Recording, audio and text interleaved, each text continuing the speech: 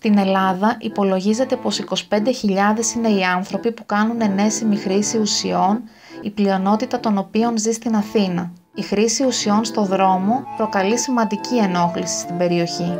Πρέπει να βρισκόμαστε σε αυτό το χώρο γιατί εδώ θα βρούμε την ηρωίνη, εδώ θα βρούμε το φίλο που θα μπορέσει να βοηθήσει αν δεν έχουμε χρήματα και δεν θέλουμε να κλέψουμε, δεν θέλουμε να κάνουμε αδικήματα κτλ. κτλ, κτλ. Mm-hmm. Άσχημο, άσχημο πράγμα για έναν που έχει τα παιδιά του εδώ και θα πάει σχολείο. Δεν πάει σχολείο; Η κατάσταση είναι πολύ άθλια. Θα κοιτάτε από εκεί. Είναι, είναι πολύ άθλια η κατάσταση. Παιδιά από εδώ περπατάνε το πρωί, δεν μπορείς να περπατάσεις από, από τις σύρεγγε. Εδώ επειδή έχουν τα σκαλοπάτια, τα παίρνουν και έρχονται εδώ που είναι ήσυχοι μικρός πεζόδρομος, mm -hmm. σαν πεζόδρομος και ξύνουν από το Όλη την ημέρα. Ό, από το πρωί το βράδυ. Μάλιστα. Για πολύ καιρό οι πολιτικοί πίστευαν ότι μπορούν να ξεφορτωθούν το πρόβλημα των ναρκωτικών με τις επιδρομές της αστυνομίας και τη φυλάκιση. Πρόσβαση στη θεραπεία και στις καθαρές βελόνες και σύριγγες παρέμενε πολύ χαμηλότερη από εκείνη των περισσότερων χωρών της Δυτικής Ευρώπης. Σαν συνέπεια, οι άνθρωποι μοιράζονταν τις βελόνες τους και αυτό οδήγησε σε μολύνσεις από υπατήτηδα C και HIV.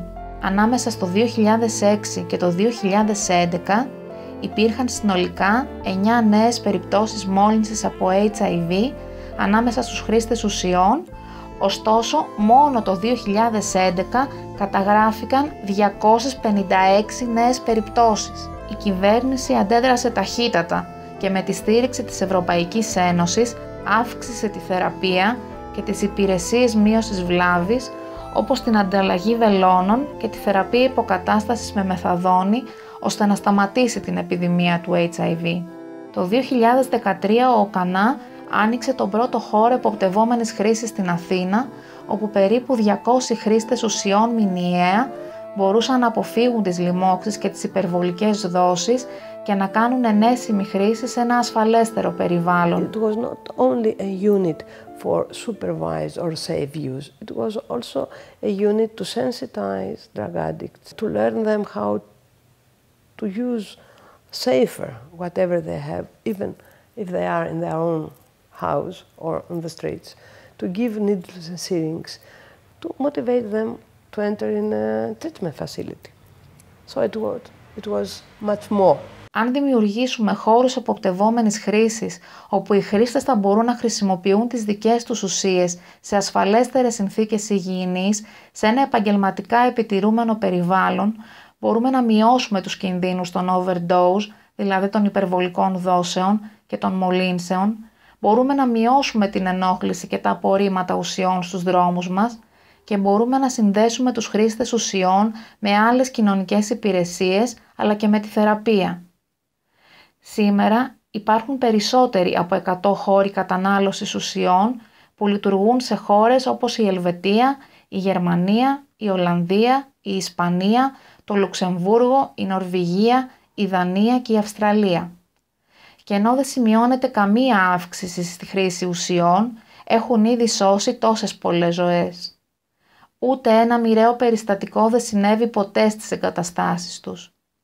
Στην Αθήνα, ο σταθμός εποπτευόμενης χρήσης λειτουργήσε νόμιμα από το 2013 ως πιλωτικό πρόγραμμα, αλλά δυστυχώς το γραφείο της Εισαγγελικής Αρχής το έκλεισε αναπάντεχα.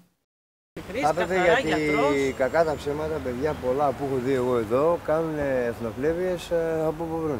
Θα έπρεπε να γίνει κάτι. Εγώ θα ήθελα, παρακαλώ πολύ εμάς, τους τοξικομανείς, τους χρήστες, να μας δώσουν κάποιο χώρο, να μην ενοχλούμε κανέναν, mm -hmm. κάποιο χώρο που να είμαστε εκεί, εμείς. Mm -hmm. Οπότε είσαστε υπέρ του να μαζευτούν όλα αυτά τα άτομα σε ένα χώρο που να κάνουν. Δεν είναι υπέρ, δεν είναι, δεν είναι το θέμα. Λέμε ότι είναι άρρωστο. Καταλαβαίνω είναι ναι. άρρωστο. Άμα το κράτος δεν πρέπει να κάνει κάτι, δεν, δεν πρέπει να προστατεύει εμένα τα παιδιά. Τι, τι παράδειγμα δίνουν στα παιδιά; Σωστά. Είναι άρρωστο. Να τα συγκεντρώσουν κάπου, να του θεραπεύουν, να Ακριβώς. δουλεύουν εκεί μέσα. Δεν ξέρω, κάτι να γίνει. Αυτή δεν είναι η κατάσταση. Ακριβώς. Consumption rooms are an effective harm reduction measure. The important task of the state and of the professionals who work in the field is to save users' life.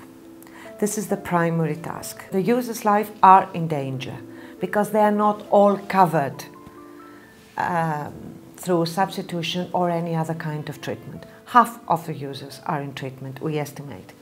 So for the rest of the users, we should have consumption rooms, we should have every harm reduction unit and intervention available. Η καμπάνια Room for Change στοχεύει να προωθήσει πραγματικές λύσεις στα προβλήματα των ουσιών.